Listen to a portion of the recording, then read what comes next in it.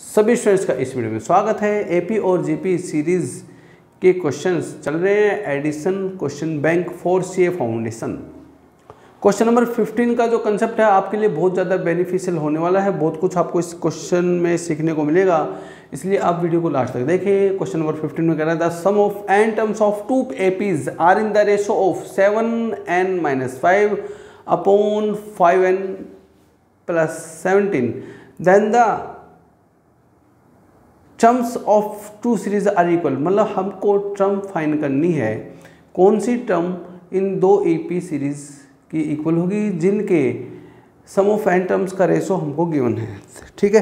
तो सबसे पहले समझते हैं फ़र्स्ट टर्म जो है, यहाँ पर ले लेते हैं सेकंड टर्म यहाँ पर ले लेते हैं। फ़र्स्ट टर्म के लिए जो वैल्यू आपको रेशो की जो वैल्यू गिवन है, वो है सेवन एन माइनस फाइव और सेकेंड टर्म की जो वैल्यू है, आपको गिवन है फाइव एन प्लस सेवनटीन और आपको बताए थे जो सम ऑफ़ एन टर्म होगा फ़र्स्ट ए पी सीरीज़ के लिए आ जाएगा seven n square minus five n देखो, ये कंसेप्ट है कि कोई भी ए पी सीरीज़ का सम ऑफ़ एन टर्म्स होता है, वो एन में क्वाड्रेटिक इक्वेशन होता है, लेकिन उसमें कॉन्स्टेंट वैल्यू नहीं होती।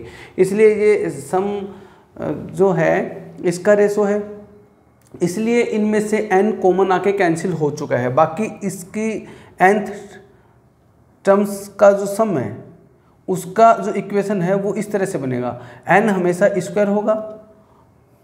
इसके बाद सिंगल भी हो सकता है। ऐसे ही ये देखो आप एस एन इसका हो जाएगा five n square plus seventeen n ये आपको समझ में आ जाना चाहिए कि कोई भी एपी सीरीज़ है, उसका sum of n terms n में क्वाड्रेटिक इक्वेशन होगा, जिसमें कांस्टेंट वैल्यू नहीं होती है। बिल्कुल नहीं होती है या ज़ीरो होती है, ठीक है? सिंगल कांस्टेंट वैल्यू आप समझ गए होगे? अब इसकी फ़र्स्ट टर्म हम जब फाइंड करते हैं ए तो यहाँ पर एन की जगह वन रख देते हैं तो ये seven minus five seven minus five आ जाएगा टू और इसके लिए जो फ़र्स्ट टर्म आती है, वो आ जाएगा five plus seventeen twenty two first term के लिए आपको एन की जगह एक रखना पड़ेगा। तब आपको किसी भी सीरीज़ एपी हो, चाहे जीपी हो, उसकी फ़र्स्ट टर्म आपके सामने आ जाएगी। उम्मीद करता हूँ आपको स्टेप बाय स्टेप ये क्वेश्चन समझ में आ जाएगा।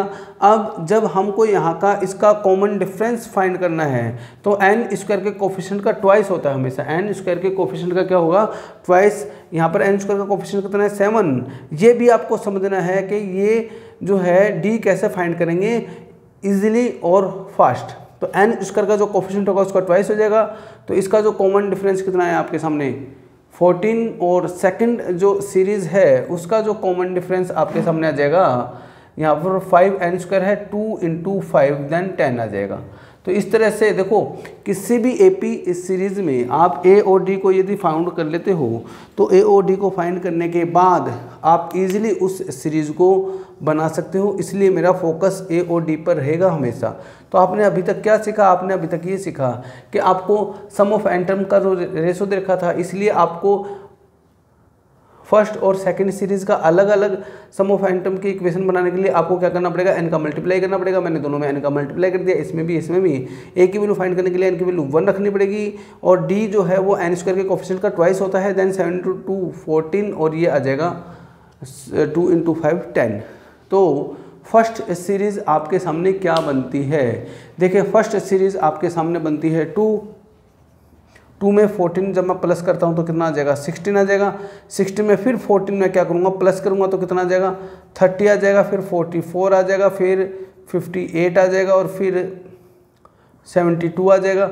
इस तरह से हमारी जो सीरीज़ है वो बढ़ती रहेगी। एक को निकाल लेते हैं, ये आ जाता है एटी सिक्स। इस तरह से हमारी फ़र्स्ट सीरीज़ आ जाती है। अब सेकेंड सीरीज़ जो है, वो हमारे सामने क्या आती है वो देखिए। सेकेंड सीरीज़ हमारी स्टार्ट होती है फ़र्स्ट टर्म 22 से 22 में 10 प्लस करता हूँ तो कितना आता है 32 32 में मैं 10 प्लस करता हूँ तो कितना जाता है 42 42 में मैं 10 प्लस करता हूँ तो कितना जाता है 52 फिर 62 और फिर 72 और फिर 82 ठीक है?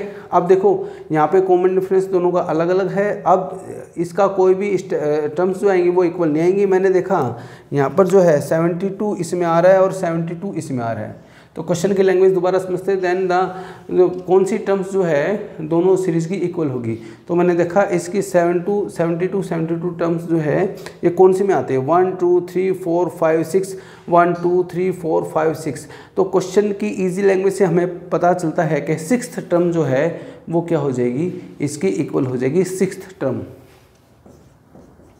इसलिए इस क्वेश्चन का जो आंसर आएगा, वो आएगा सिक्स अब आप कहोगे, सर, ये तो सिक्स है, आपने इजीली पी सीरीज़ फाइंड करके फाइंड कर लिया है। मान लो ये ए पी सीरीज़ में मान लो बहुत बड़ी वैल्यू जो है एक दूसरे के इक्वल हो जैसे मान लो बीस में हो, टी या तीसवीं हो, या पचासवीं वैल्यू हो तो इसका फॉर्मूला जो है वो ये आ जाएगा टी एन वन इक्वल है T n two first term के लिए एन टर्म्स और सेकेंड टर्म्स के लिए जो है एन टर्म्स जो है, कौन सी इक्वल होगी? तो इसके लिए आपको ए फ़र्स्ट टर्म के लिए a plus n minus one a plus n minus one into d और ये भी a plus n minus one into d दोनों का फॉर्मूला लगाना पड़ेगा। यहाँ पर फ़र्स्ट टर्म के लिए ए वन डी वन ले लेता हूँ, ये ए टू डी टू ले लेता हूँ। सेकेंड मतलब फ़र्स्ट सीरीज़ के लिए। ए वन डी वन और सेकंड सीरीज़ के लिए ए टू डी टू ले लेता हूँ।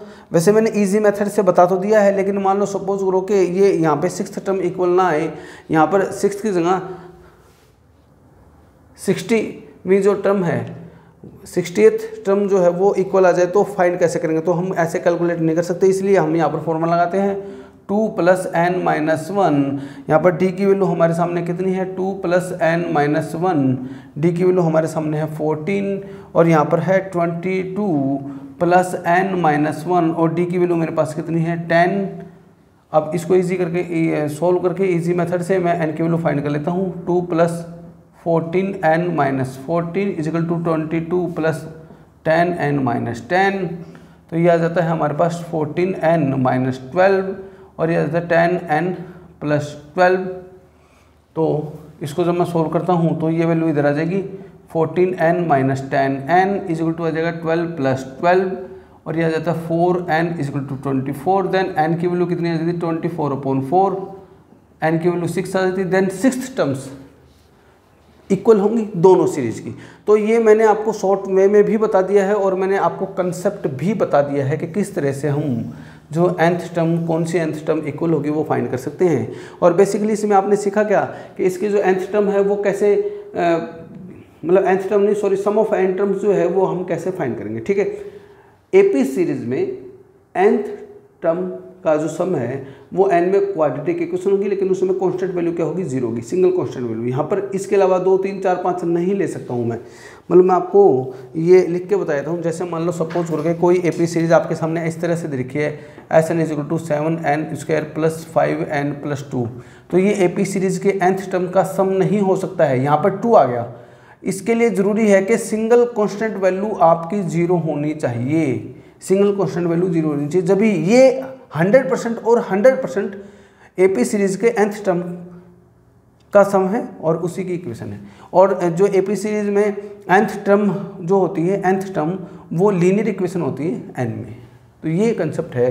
तो ये कंसेप्ट मैं आपका क्लियर कराना चाह रहा था और उम्मीद करता हूँ कि आपको ये क्वेश्चन समझ में आया होगा। फिर भी कोई कन्फ्यूज़न है तो आप मुझे कमेंट बॉक्स में लिखना। क्वेश्चन नंबर सिक्सटीन बिल्कुल इजी क्वेश्चन है. Find three numbers in A P who sum is six and product is minus twenty four ठीक है? अब देखो माइनस ट्वेंटी फोर प्रोडक्ट बता दिया आपको. इसका मतलब ये दोनों वैल्यू नहीं हो सकती हैं. क्यों नहीं हो सकती? है? क्योंकि इनका प्रोडक्ट तो सम आएगा. इनका प्रोडक्ट तो प्लस में आएगा. ठीक है? फाइव को थ्री से मल्टीप्लाई करा तो एट आ रहा है. सेवन को फोर से मल्टीप्लाई करा तो ट्वेंटी एट आ रहा है. वैसे भी नहीं होगा. और इसको मल्टीप्लाई करूँगा तो कितना जाएगा माइनस थ्री तो राइट आंसर जब मान लो किसी भी क्वेश्चन में तीन ऑप्शन नहीं होंगे तो चौथा ऑप्शन अपने आप हो जाएगा। ये भी एक शॉर्ट मेथड है क्वेश्चन का आंसर फाइंड करने का एग्ज़ाम में। वैसे आप इसको चेक कर सकते हो। ये एपी सीरीज़ है ही माइनस टू और टू के बीच में फोर का डिफरेंस है और इन दोनों के बीच में फोर का डिफरेंस है। और इन दो, तीनों का जो सम है सम जो है वो सिक्स है। माइनस टू को टू से मैं मतलब प्लस करूँगा तो कैंसिल हो जाएगा ओनली सिक्स बचेगा। और इनका प्रोडक्ट छः दूनी बारह बारह दूनी चौबीस माइनस ट्वेंटी फोर आ रहा है। तो इस तरह से बिल्कुल ईजी वे में इसका क्वेश्चन आप कर सकते हो। और आपको बताऊँ किसी भी एपी सीरीज़ में यदि आपको थ्री टर्म्स माननी है three terms in A P तो उसका मेथड है ए माइनस डी ए और ए प्लस डी माननी है। मतलब हम क्वेश्चन को इस वे में नहीं करेंगे, हम कर सकते हैं इसको। ए माइनस डी ए और ए प्लस डी मान के थ्री टर्म्स ताकि हम इसको प्लस करें तो डी से डी क्या हो जाए कैंसिल हो जाए इजीली हमारे पास किसकी वैल्यू हो जाए? ए की वैल्यू आ जाए। तो आपने बिल्कुल सिंपल देखना ना मैं क्वेश्चन को फॉलो करूँगा तो बहुत इजी वे में, मैं इसका आंसर फाइंड कर सकता हूँ। इक्वेशन से भी कर सकता हूँ। वैसे मैंने देखा कि इन दोनों का प्रोडक्ट माइनस में आ रहा है, इन दोनों का प्रोडक्ट प्लस में आ रहा है तो ये तो हो ही नहीं सकता बिकॉज़ प्रोडक्ट क्या देखा आपको? Minus twenty four minus twenty four इसलिए ये दोनों नहीं हो सकते। ये दोनों हो सकते लेकिन इसका प्रोडक्ट मैंने करके देखा थ्री बन जा। थ्री माइनस थ्री आ रहा है, जबकि प्रोडक्ट मुझे माइनस ट्वेंटी फोर चाहिए तो इसलिए इस क्वेश्चन का आंसर कितना देगा हूँ ए आ जाएगा, और आपने बहुत इजीली इस क्वेश्चन को क्या कर लिया? फाइंड कर लिया। अब नेक्स्ट क्वेश्चन देखते हैं ईजी वे में।